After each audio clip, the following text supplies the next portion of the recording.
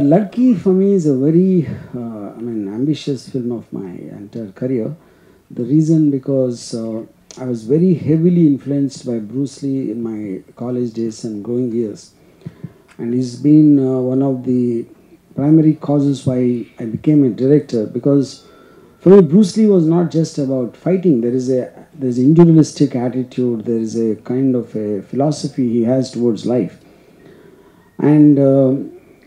I just wanted, I mean, that kind of drove me to making a very individualistic uh, self-expression where I take, where I took films as my call.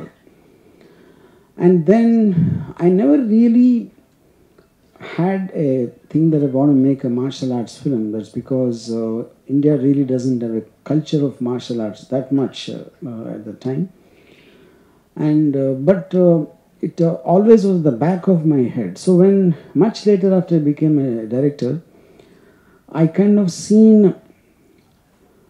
I mean, the later day martial artists after the uh, death of Bruce Lee, like from Donnie Yen to Jackie Chan to various others uh, came, Jet Li, Tony Jaa.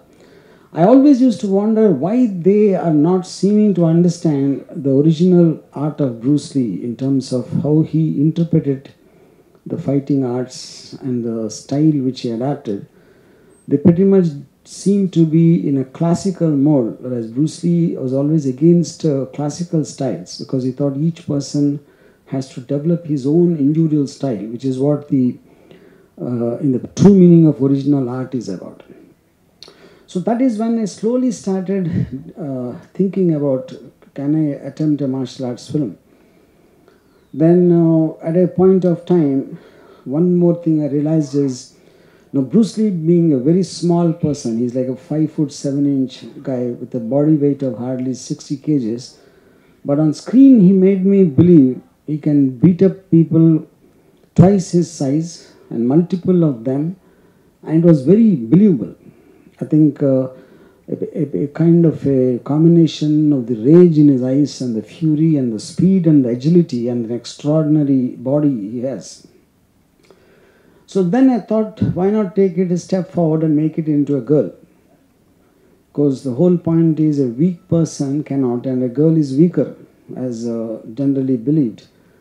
So that is when I fixed up uh, the uh, basic plot line to be a female centric martial arts film.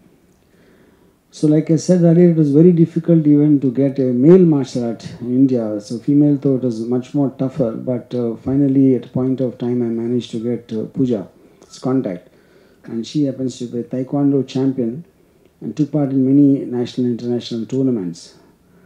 And then once I met her, I got her trained in Jeet Kune Do, which is the Bruce Lee style. Yeah, that's how the whole journey happened.